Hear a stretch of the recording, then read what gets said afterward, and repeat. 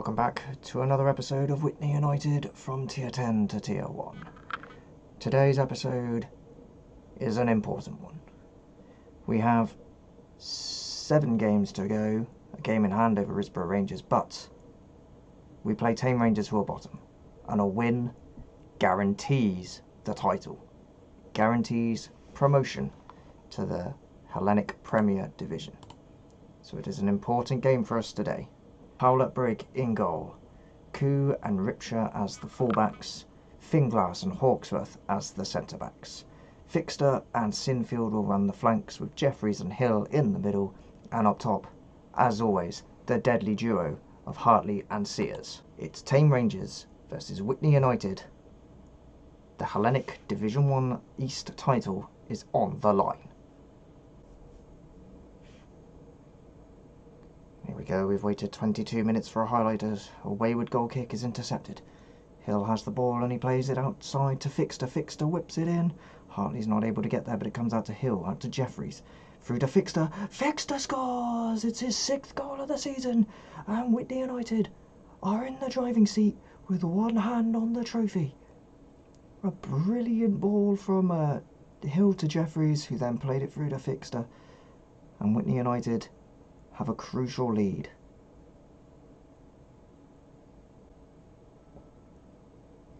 Barker-Moran with the corner. Pilot Brig comes and catches that instinctively to keep Witney United in the lead. A good drop kick earlier. He's given it to Sears. Sears out to Hartley. Hartley's in.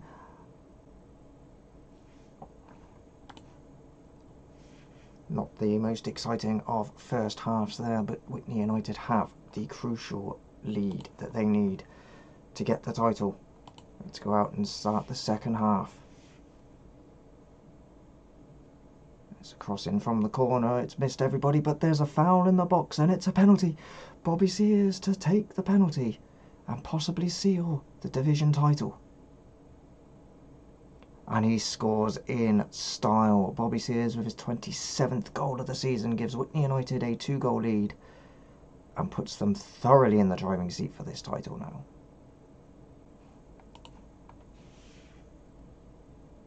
Koo with the corner, it's whipped in, Sears at the back post, oh, and it's a good effort, but it's going over. A goal kick, and Witney applying the pressure. Hawksworth with a free kick in his own half, a long ball forward, Sears is going to get on the end of that, no he's not. Doe gets it, clears it, here's his Koo. Koo charging through the middle now as he plays it to Martin. It's blocked, but comes to Akim Sams, and he's put it wide. Koo with the throw in to Sears. To Hill. They're basically there. Hill whips it in. It comes down to Martin, who plays it to Sinfield, and it's over.